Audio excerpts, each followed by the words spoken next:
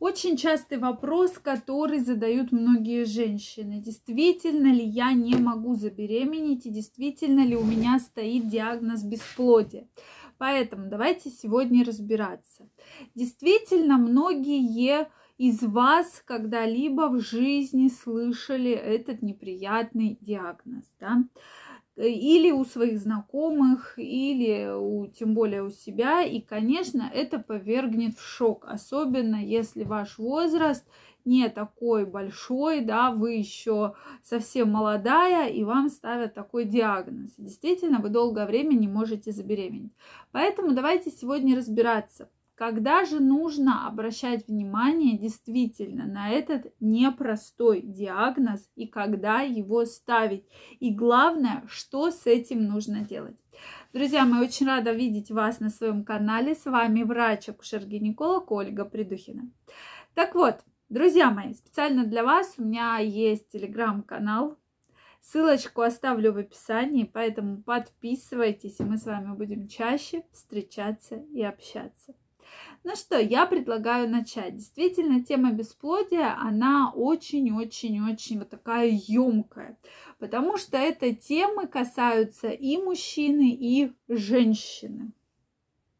И здесь мы очень часто разбираемся вообще в проблеме. Ко мне часто на консультации приходят женщины абсолютно разного возраста, да, и очень молодые девушки, и женщины более 40 лет, и даже более 42-43 лет. И все с одинаковым вопросом, действительно ли у меня стоит такой диагноз, и действительно ли я бесплодна. И здесь мы начинаем разбираться в проблеме, так ли это на самом деле да. Да, к сожалению, есть сейчас определенные нюансы в современной медицине тоже, и многие врачи э, там не хотят как-то должного внимания уделять обследованиям, должного внимания уделять медикаментозной терапии, а пытаются вас отправить сразу на более такие уже сложные методы репродуктивные, как ЭКО, там, э, под, э, там инсеминации и так далее. Но здесь я все-таки хочу вам напомнить про то, что диагноз бесплодия и вообще об этом диагнозе мы можем говорить только тогда, когда у вас не наступает беременность в течение одного года регулярной половой жизни. Регулярная половая жизнь это 3-4 половых контакта в неделю, да, 2-3 3, 4, 2, 3 половых контакта в неделю без любых методов предохранения. И почему я на это определение обращаю ваше особое внимание? Потому что очень часто мужчина, э, женщина говорит, да у меня муж там не может, да, по, прибра по причине здоровья.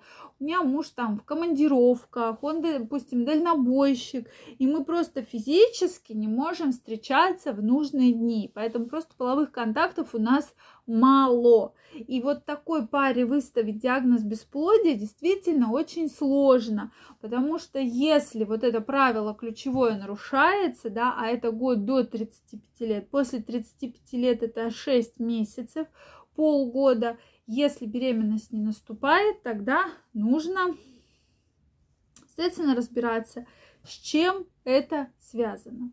То есть факторов действительно огромное-огромное количество. Мы с вами перечислим такие самые основные которые встречаются в практике. Самый первый фактор – это гормональный фактор. Вот я скажу по своей практике три фактора, которые встречаются просто четыре постоянно. Гормональный, когда есть какие-то изменения в гормонах. Какого-то гормона много, какого-то гормона мало. Наш организм устроен так, что работает как часы. Вот с одним гормоном возникают проблемы, соответственно, уже во всем организме возникают проблемы.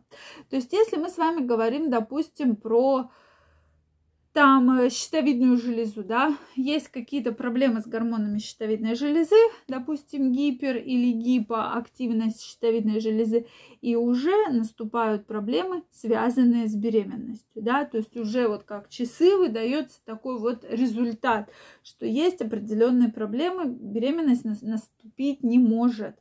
Дальше. Говорим про Трубноперитониальный фактор. Трубноперитониальный фактор – это если есть какая-то спаечная болезнь. То есть было какое-то воспаление, э, возможно, очень часто вызвано инфекциями, передающимися половым путем, то есть половыми инфекциями, венерическими заболеваниями, да, и э, вот это воспаление вызвало такие соединительно-тканные тяжи, то есть спайки. И поэтому трубы стали непроходимы. Да? Соответственно, вот этот вот путь между э, яйцеклеткой, э, маткой и э, яичником, то есть яйцеклетка просто не может физически встретиться с сперматозоидом, да, вот, или наоборот поступить в полость матки. Это уже такая серьезная проблема, если была внематочная беременность. Поэтому здесь это надо обязательно сделать, конечно же, УЗИ, Обязательно обследоваться на инфекции, передающиеся половым путем. Это крайне важно для того, чтобы удостовериться, что на сегодняшний день у вас нет воспаления. То есть обычно мы сдаем мазок на инфекции, передающиеся половым путем ПЦР, сдаем мазки на флору, да, для того, чтобы точно понять, что все хорошо, никаких воспалительных заболеваний нет. Плюс делаем УЗИ. Если необходимо, можно сделать гистеролапароскопию для того, чтобы точно, да, визуально увидеть, что действительно нет никакой спаечной болезни ни в полости матки, ни в маточных трубах, ни в органах малого таза. Это тоже, друзья мои, очень важно, почему многим женщинам все-таки рекомендуется делать подобные операции. И после таких операций очень быстро наступает беременность. Да? И э, буквально стоило там восстановить проходимость трубы, убрать вот эти что-то лишнее, и мы видим, что все хорошо, беременность очень быстро наступила. Следующий фактор это фактор как раз маточный. Если есть какие-то определенные проблемы с эндометрием, а такие проблемы тоже часто, к сожалению, возникают. То есть эндометрий растет неравномерно, есть какие-то полипы, гиперплазии, или наоборот он очень тонкий, плодное яйцо под, э, не может под, э, сесть, да, у кого-то есть миомы. То есть здесь надо, конечно, индивидуально уже разбираться в проблеме и выяснять, с чем же эта проблема связана. Следующий момент – это мужской фактор, да, мужской фактор, который э, действительно такой играет очень-очень серьезную роль. И хотя многие мужчины думают, что а, это все женщина, то есть не может забеременеть, проблема в ней. На самом деле, друзья мои, нет. Очень часто проблема в мужчине, 40% мужского бесплодия, поэтому необходимо сдать спермограмму и мар-тест да, и плюс обследовать на воспалительное заболевание для того, чтобы точно понимать, что это не мужской фактор. Поэтому, дорогие мои, подписывайтесь на мой телеграм-канал, задавайте интересующие вас вопросы, и мы будем с вами на связи. Всем пока-пока и как можно быстрее забеременеть.